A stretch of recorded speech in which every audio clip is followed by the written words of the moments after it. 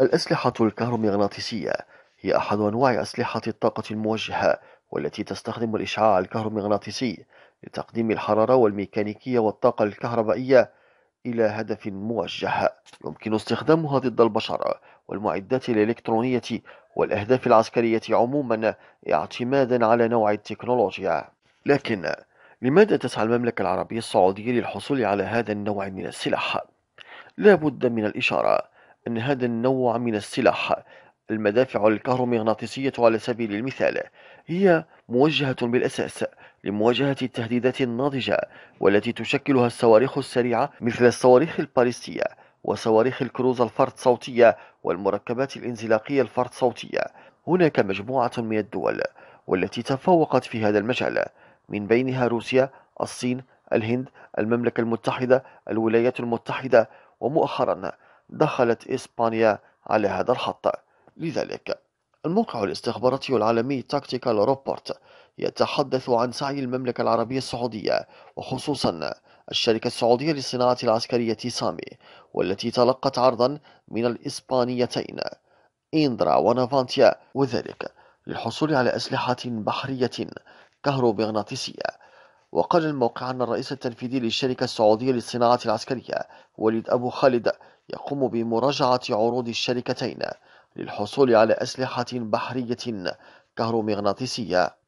يقول أحد العلماء المختصين في هذا المجال أن العالم سيواجه خلال أي حرب مستقبلية خصوصا إذا ما تواجهت فيها قوتان عسكريتان كبيرتان كالصين وروسيا أو الولايات المتحدة.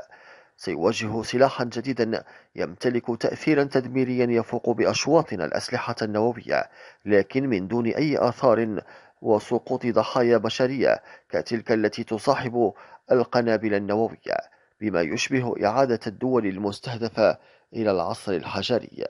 إنه السلاح الكهرومغناطيسي.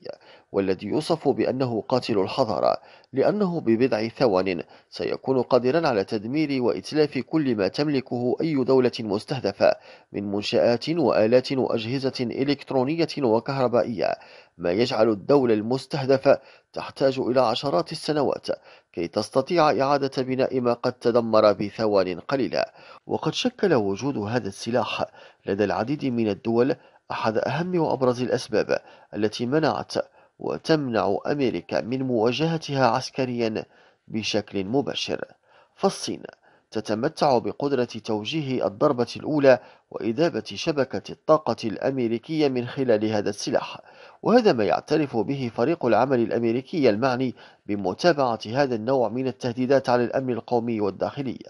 حيث أصدر تقريرا وصف بالمخيف في عام 2020 كشف فيه عن قدرة الصين على شن هجوم بالنبض الكهرومغناطيسي على بلاده بعدما باتت الأولى تمتلك أسلحة فائقة النبض الكهرومغناطيسي وتعرف كيف تحمي نفسها من هجوم بالقوة الكهرومغناطيسية وأنها طورت بروتوكولات لشن هجوم بالضربة الأولى مضيفا أن سلطات بكين أنشأت شبكة من الأقمار الصناعية والصواريخ عالية السرعة فرد صوتية وأسلحة النبضات الكهرومغناطيسية الفائقة والتي يمكن أن تصهر شبكة أمريكا الكهربائية كلها وتلغي كل قدرات الاتصالات وحتى قدرة مجموعات حاملات الطائرات على الاستجابة للتهديد. ووفقا لمركز الدراسات الاستراتيجية الدولية تمتلك الصين ما لا يقل عن ثلاثة أنواع من الأسلحة عالية التقنية لمهاجمة الشبكة الكهربائية والتقنيات الرئيسية والتي يمكن أن تتسبب في هجوم مفاجئ يشبه إلى حد كبير. ذلك الذي حصل في بيرل هاربر.